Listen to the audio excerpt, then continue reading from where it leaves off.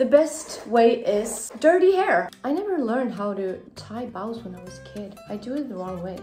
Hello everyone, it's Linda and today we are doing a headscarf video.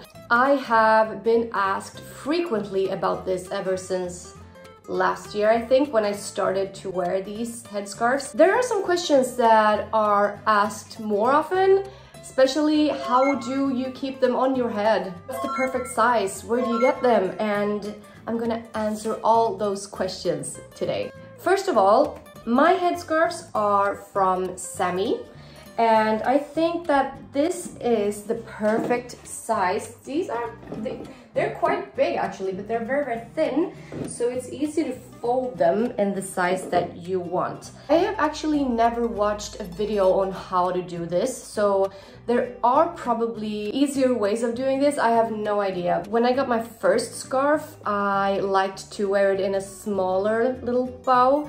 But right now I am more into these big fluffy ones and I'm gonna show you both ways today. Let's start with first taking this down. To keep a headscarf on your head, the best way is to have dirty hair actually. When your hair is very soft and when you have just washed it, it is so hard to keep it on your head because it just keeps slipping off. One product that I really like to use before is the dry spray texture and volume from Björn Axén. This is a Swedish brand, but this really, really gives your hair a nice grip. It makes it easier to style. So make sure that the hair is either a little dirty or if you have some kind of product in it that really, really makes the scarf stick. The next thing is that you have to put it up in a bun. This is actually the perfect updo for me because I have extensions and when I keep my hair up, you can see the extensions from the side. So the scarf actually uh, hides the extensions, which is really convenient for me, who likes to have my hair up. So basically I just put it up in a pretty messy bun. What I do, I fold it and also I don't want this tag to be on the top of my head. So I fold it in half to a little triangle like this. And then I'm starting to fold it. I'm basically rolling it Make sure these ends are the same length. And then I place it on the back of my head like this. And just tie. And the thing is now that I cannot tie proper bows, bows.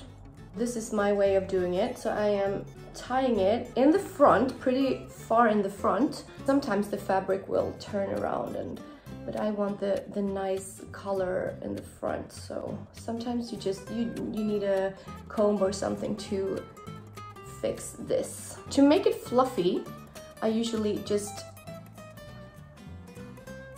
fold it out like this. And then you have this little longer end here that I usually just fold in and I attach it with a bobby pin underneath the knot like that so it won't show.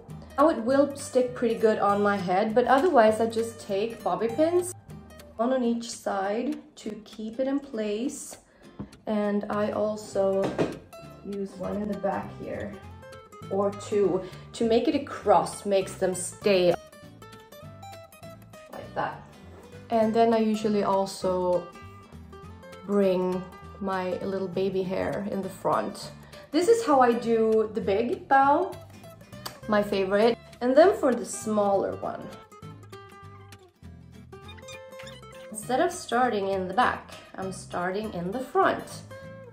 And then I tie it around my the back of my head and just go around.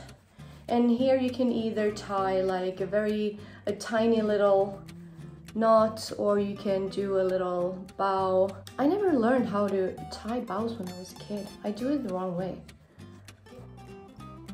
So it's pretty much the same thing, but you tie it in the front instead of the back. And that is pretty much it. And I love how cute it looks, how you can mix and match it with different styles and different colors. And it is so easy to do, even on shorter hair. For me, the key things are to have a little bit dirty hair or if you have this texture spray that really makes the headscarf stick. That's it. I hope that you liked it and that I'll see you again in the next video.